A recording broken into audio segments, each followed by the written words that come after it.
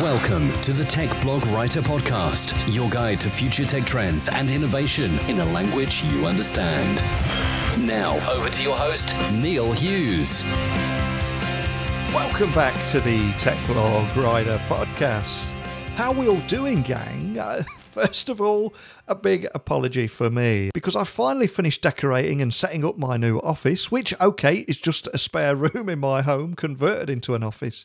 But the sound is a little echoey at the moment, so please bear with me while I try and fill it with lots of soft furnishings to take that echo sound away.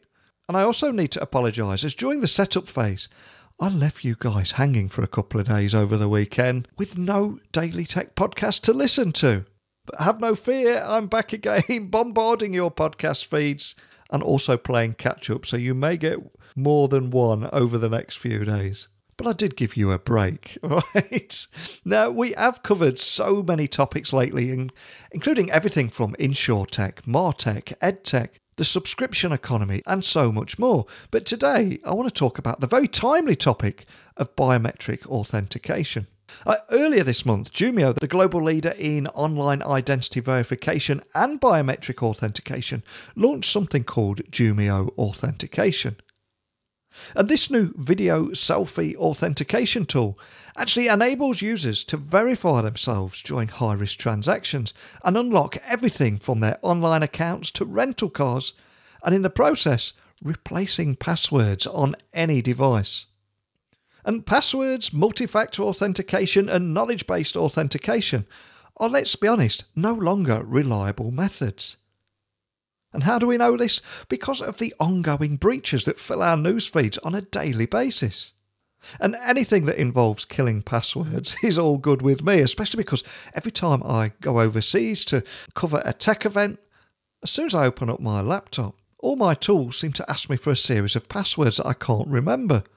So buckle up and hold on tight so I can beam your ears all the way to San Francisco so we can speak with Jumio Chief Revenue Officer Robert Prigge, who's going to discuss the impact biometric authentication is going to have, and also why 2FA and KBA are slowly dying, and how organisations seeking to establish a digital chain of trust with their users need to start and consider biometrics.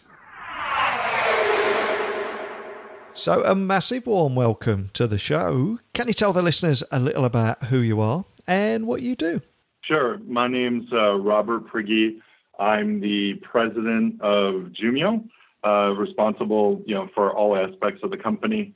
I've been here about four and a half years or so, and I'm based out of uh, Silicon Valley in right in sunny Palo Alto, California. Fantastic. Now, for people listening and hearing about Jumio for the very first time, could you just tell me a little bit more about the kind of problems that you guys solve and how connecting a person's online and real world identities is actually the sweet spot of Jumio? Sure. So, Jumio is the way that companies establish trust remotely. So, what that means is whether you're doing gaming, you know, sports betting in the UK, and you scan in your uh, ID and maybe take a selfie, um, or you're opening a, a, bank account in Europe and you know uh, scan in your passport or government issued ID and take a selfie. We're the way that companies establish that you are who you say you are. So I virtually guarantee everyone listening to your podcast has gone through the, the Jumio process, uh, which is typically called identity verification or ID and identity verification uh, where you'll scan in a government issued ID, uh, take a selfie, and then they're they're matched to each other. And the, the real reason that we do that is it's one of the only ways to establish who you really are. Uh, a lot of people in the marketplace will ask questions about your unique, you know, in the U.S., like your social security number uh, or a driver's license number or your old address or something like that. But because uh, in the last year, account takeover is up over tenfold. It's because of, of things like uh, uh, breaches and the fact that there is no such thing as private information anymore. Everyone's address, history, and, and other things are online and easily findable. Um, and so it's no longer good enough to just ask a question to ask who someone says they are. You need to prove who they are. And so, really, the business problem that we're solving um, is whether it's a sharing economy you know, staying at someone else's house uh, or getting a rental car or just about anything else. Um, when you're uh, remotely signing up for a service, typically, they'll go through our process uh, to prove that you're carrying the government issued ID. Um, and then we'll, we'll match the selfie to make sure that the person holding the ID is the one taking the selfie. So really those are the, the business problems that we're solving is letting you know who you're dealing with, not who they say they are. And this is going to be a bit of a long shot, but I was in the US recently, and when they scan, well, usually they scan your boarding pass and, and then let you through. But on this particular occasion, they said, don't scan your boarding pass. Look up to the camera. And I looked up to the camera, and straight away it went, Neil Hughes, passenger 57, on you go. Um, do you do anything like that as well? Uh, we, we, do. So uh, some of the major airlines uh, will use like the, the app on their phone yeah. uh, will will walk you through the exact process that you're talking about. Um, and part of the reason for that is they want a great experience for the customer, uh, and part of it is they want to make sure that you have a a visa to get into the country that you're supposed to be going to. Uh, I myself had a flight to Singapore. I got to the airport at you know 5:30 in the morning to fly there, and um, I was two days away from my visa, you know, having enough time on it, my passport. Uh, so they wouldn't let me board the airplane, which was a pretty terrible experience for me. So a- absolutely, uh, you know, more and more companies are having you do this stuff uh, online ahead of time uh, to make sure that you are who you say you are, and also to check things like visas, you know, like in the example that, that you were giving. Um, same thing, you know, uh, when you stay uh, at someone's you know shared economy or pick up a rental car. More and more, you know, this is just becoming the uh, the standard of how people establish uh, your identity. Oh man, missing a flight or being turned away from a flight is my absolute worst nightmare. Tell the truth, did you have a diva moment there? Did you, did you begin raising your voice saying, Do you know who I am? Did, did that happen or did you just remain calm? I, I mentioned I'm friends with Neil and you should let me on this plane immediately, but yeah, I, I have to say it was a terrible experience. And like I said, I was I was legitimately like two days short, and I had typed in my information online. They should have known it, uh, but you know th- this is the whole benefit of why airlines will do this sort of thing with us. Um, same thing, you know. Uh, so it was a terrible experience, um, and more and more, you know, this is why airlines and and sharing economy financial FSI companies, you know, want to do something like this so that they can get ahead of it, give you a great experience, but also, you know, just know that it's you uh, when you're trying to do something and that it's not someone trying to take over your account. Now, you also recently launched Jumio Authentication, and this new video selfie authentication tool enables users to verify themselves during high risk transactions and unlock everything from online accounts to rental cars to replacing passwords, but on, on any device. Can you expand on that? It sounds incredibly cool. Yeah, I, I got to say it is uh, incredibly cool. uh, you know, what, one of the big business problems that existed was um, people would sign up for a service or they'd open up a bank account or they'd you know create their account online and then and that process is typically called enrollment um, and then at a much later date uh, they would be asked to sign up for authentication which is maybe your fingerprint or your voice uh, or your face or something like that and the, the big problem is there was a lot of uh, uh, identity theft, account takeover, um, where because you're disconnected in time, they don't actually know that the person who's registering their voice or their face is actually the person that they enrolled. And so the, the business problem that we're solving is um, we're releasing, uh, releasing the, the first solution in the marketplace that marries and combines that enrollment process with your biometric based authentication, um, in our case, a, a, face. So, what happens is when you're signing up for your bank account or your shared economy site or you know your, your gaming site, um, when you uh, create your account, you also uh, take either your phone or your webcam um, and you make a 3D face map of your face uh, by uh, holding the phone, you know, a foot away and then getting it a little bit closer, it gives you perspective and it, it enables you to build a, a three-dimensional face map of your face so that it's basically impossible to be spoofed. And the real benefit of that is because you're doing it at the time of enrollment and because we're matching the selfie that you're taking to your ID, we know that it, it's actually Neil that we're recording the face for instead of someone pretending to be him.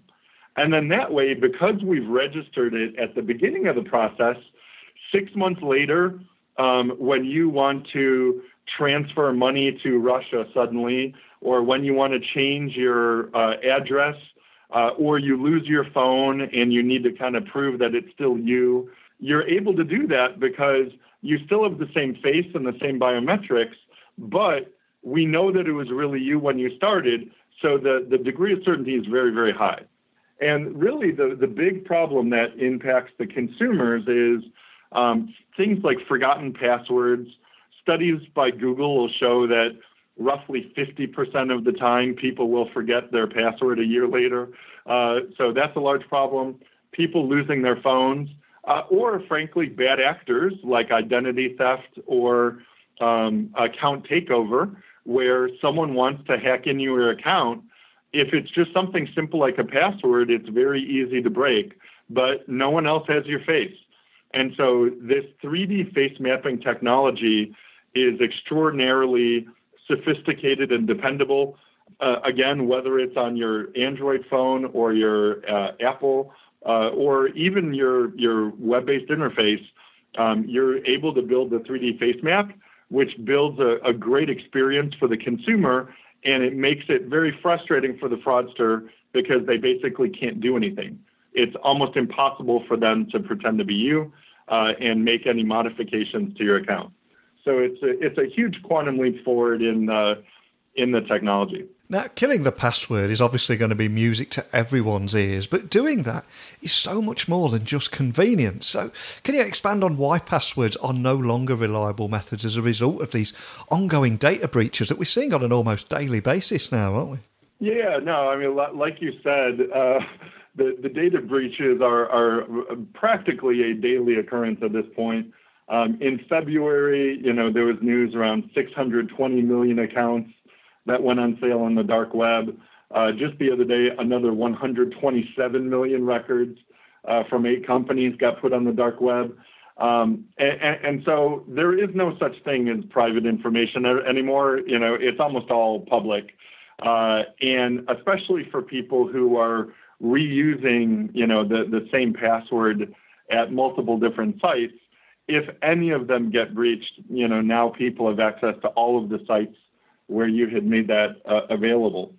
So um, it, there's not only the, the data breaches, um, there, there's also, you know, as I mentioned previously in this uh, call, uh, how people are forgetting uh, their passwords all their time, uh, or they're changing their phones, or it's tied to an old email address that they don't really have access to anymore. Uh, so it can be extremely frustrating for people. So ultimately, you know, while passwords uh, have been very effective, um, they're increasingly less and less reliable. Um, people are, are using more and more tools uh, that help them with them. Uh, but nevertheless, this is why the, the future is biometrics. Um, that they used to say uh, for authentication or, or proving who you are, it was you know something you have something you are, something you know. Increasingly, something you know has no value because everything can be found out by just simply Googling it or looking on the dark web. So it goes to something that you have, which is something like your cell phone, uh, and something that you are, which is your biometric. In our case, uh, it's a 3D face map that we use for authentication. Uh, it can also be your voice, it can be your fingerprint, and other things. Uh, but nevertheless, biometrics are, are, the future of how people are going to be proving who they really are over the next several years. Um, passwords are not going to die in the next 30 days, uh, and yet I, I, think more and more people recognize the inherent weaknesses they have. uh, and are certainly going to be migrating to biometrics more and more, especially when it's a transaction that has some sort of value associated with it.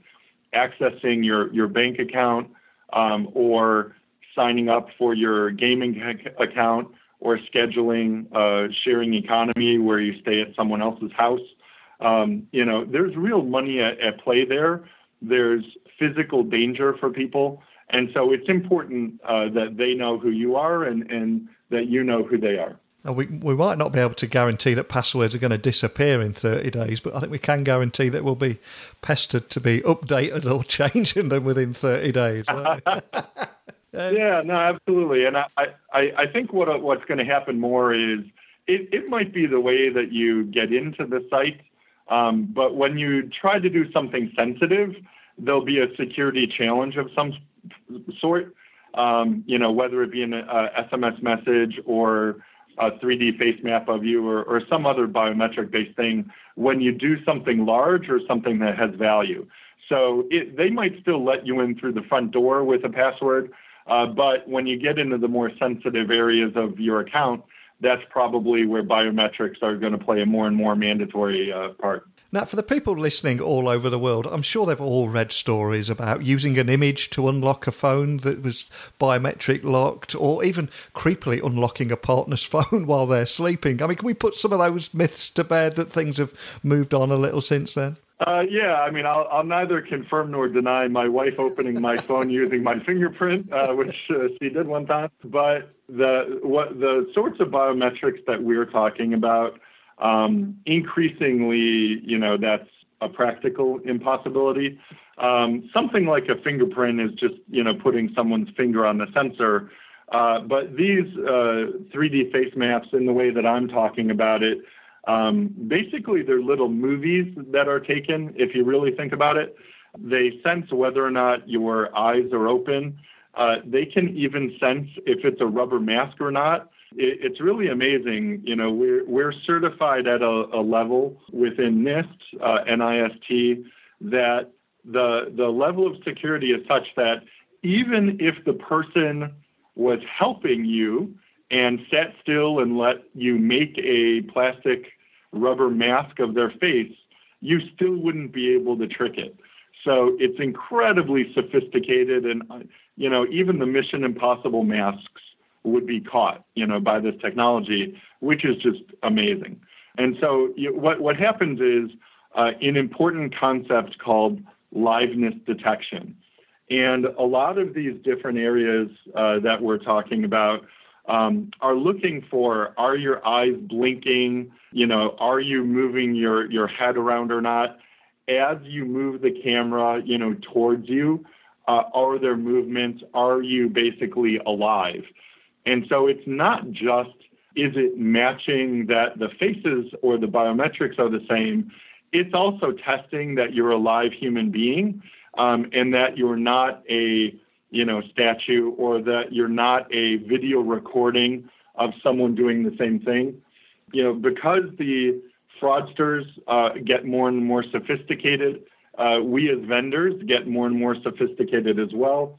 Uh, and that's why, you know, we're able to do this liveness detection that's actually uh, taking hundreds of, of still frame photos uh, and looking to confirm that you're alive as well as building out this 3D map of your face uh, so that it can map uh, your face. And what kind of impact do you think that biometric authentication is going to have in the near future, just to help people visualize the kind of changes that are coming?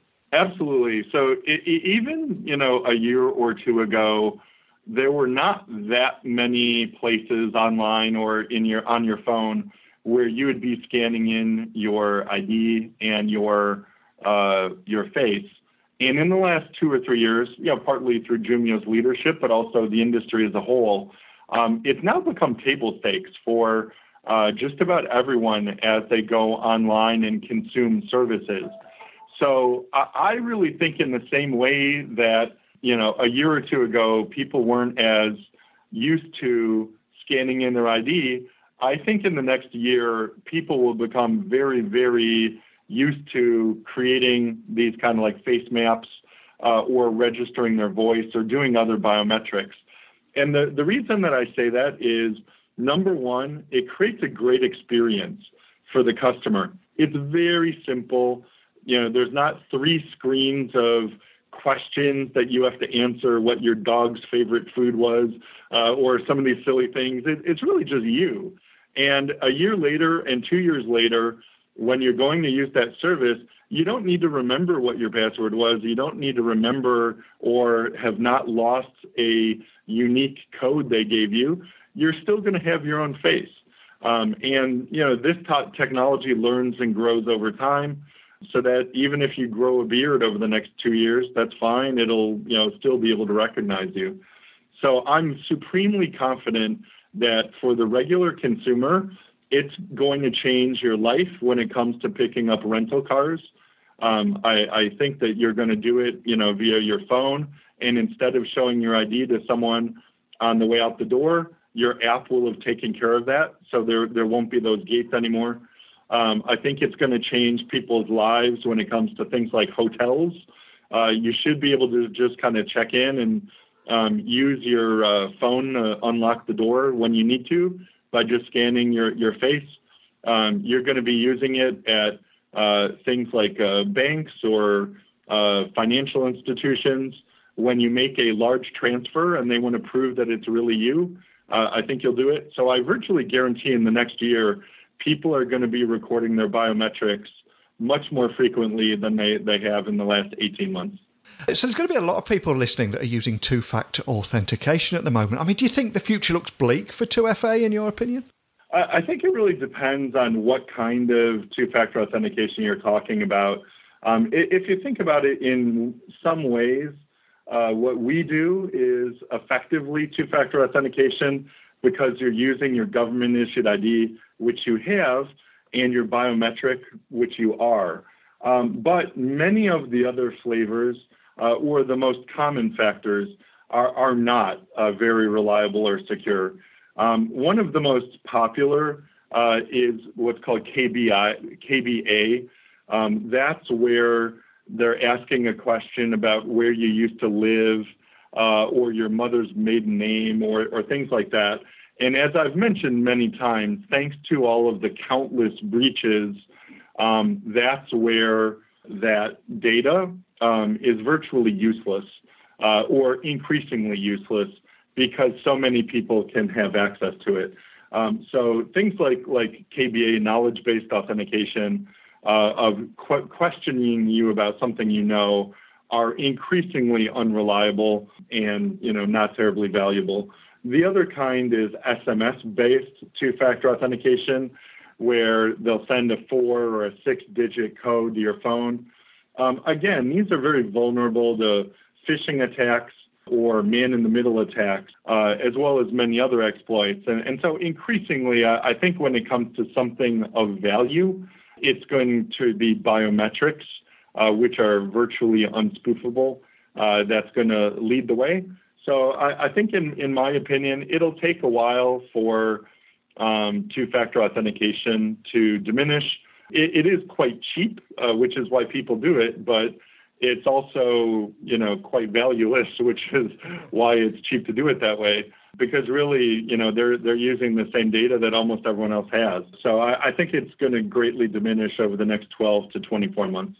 And for any business leaders that are listening, thinking of how can they implement this kind of technology into their business, do you have any use cases of how organisations are seeking to establish that digital train of trust with their users and, and why they're turning to biometrics and the kind of results that they're having? Yeah, sure, absolutely. And I, I think um, before I go into specific verticals, um, I, I think it's actually much harder to come up with a business who doesn't need to do this sort of stuff by going online uh, than it is to, to name who does need to do it.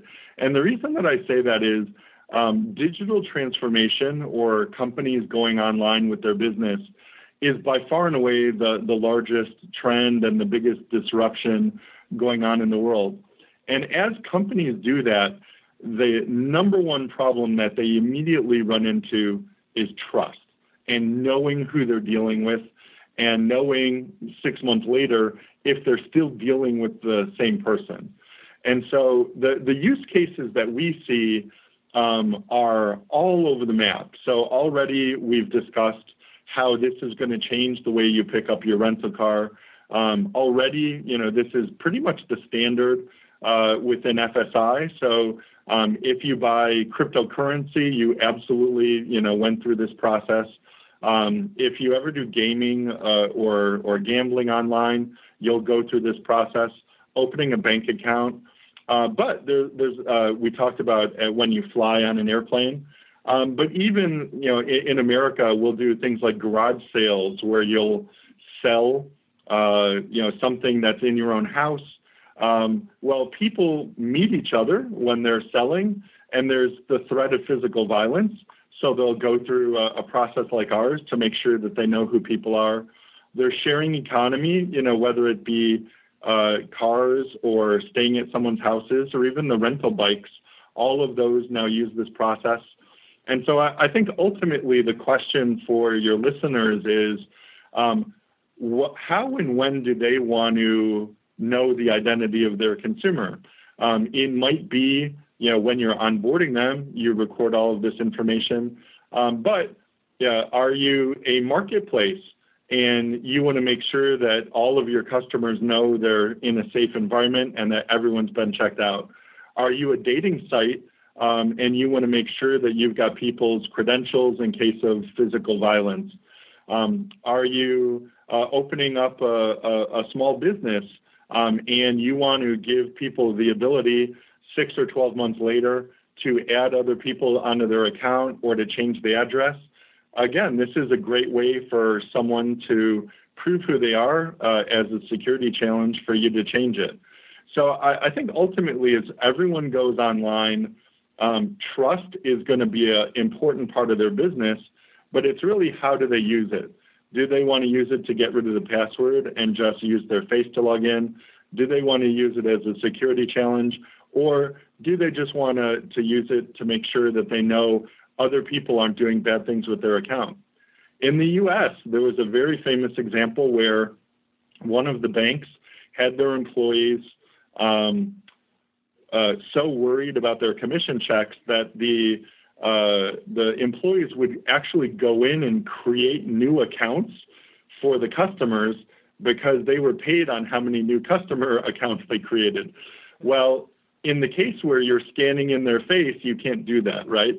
Um, and, and so, in a lot of ways, this sort of technology is great for the consumer. Uh, it's great for the business because you know who you're dealing with. Um, and it's a, a, great experience overall because it's it's so simple and is just taking a picture of your face instead of remembering complex passwords or typing in screens worth of information. Now, you guys have already had a fantastic start to the year here in 2019, but is there anything else that you can share with us about the future of biometric security and indeed Jumio? Oh, sure, uh, absolutely. Obviously, you know, these are the early days. Uh, a, lot of our offerings around uh, authentication were just launched earlier this year, where we were the first that was tying the um, identity verification uh, up with the authentication component. Um, I anticipate we'll be releasing, we, we just released uh, PEPs and sanctions screenings as well as part of that onboarding uh, for you to be able to kind of check out the background of the people that you're working with. Um, more and more, uh, this is going to be the way companies compete is on experience.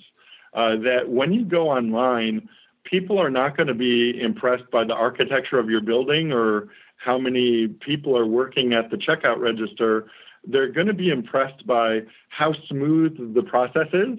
And ultimately, I think that's where they're going to choose companies like Jumio that make it really slick and easy, but secure to interact with their consumers. I think that these are now the table stakes in the digital economy.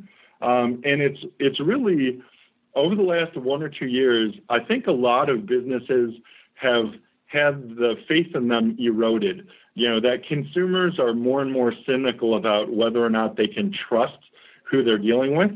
Uh, and I think um, instituting things like this kind of authentication, like this kind of onboarding, helps those companies regain that trust. Um, and you know build a, a better company and a better experience for the consumer. And I'm conscious we've covered a lot of ground today. So before I let you go, could I just ask that you remind the listeners of where they can find out more information about Jumio online and maybe even contact a member of your team if they are left with any questions? Absolutely. The, the easiest way to get hold of Jumio is at jumio.com. Uh, the name originally comes from just use my identity online, J U M I O. Uh, so go to jumio.com. Uh, we've got uh, uh emails uh, that, that can be reached out to us uh, or offices all over the world, whether it be in, in Asia Pacific, Europe, London, or the US. So feel free to reach out. We, would love to have your business um, and appreciate you and your listeners giving me your time today. Uh, also, before I let you go, there's one final question from myself. I need you to solve a first world problem for me because I was recently on holiday, sitting in the sun, drinking cocktails on the beach, living the dream. Um, but my iPhone wouldn't unlock wearing my sunglasses. So every time I wanted to look at my phone, I had to lift my sunglasses up. Can you sort that out for me?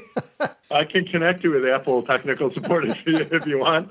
Uh, yeah, in their case, the, the way that they use the technology, uh, you know, basically uh, it inhibits their sensors when you have things like uh, uh sunglasses on. So that's a, a well-known uh, problem that they have. Uh, but I'm happy to join you on the beach if you want to reproduce it for me. I will hold you to that. Well, cocktails on me. We'll uh, we'll carry this conversation off in, in the sunshine by the ocean. so thanks for joining me today. I appreciate it. Thank you, Neil. Most modern businesses do not know with any kind of certainty that the person creating a new online account or logging into an existing account is the person that they're claiming to be. And this is where Jumio Authentication is providing a solution. And my big takeaway from today's conversation is that the impact biometric authentication is going to have and why two factor authentication and KBA are slowly dying. And of course, how organisations seeking to establish a digital chain of trust with their users need to start and think about biometrics and how it could help their business too. But as this topic affects each and every one of us, because let's face it, I think we've all would love an alternative to remembering 82 case sensitive passwords that must be at least eight characters in length, have two special characters, and have at least three capital letters. We'd all like to see that go away. But does biometric authentication delight or concern you?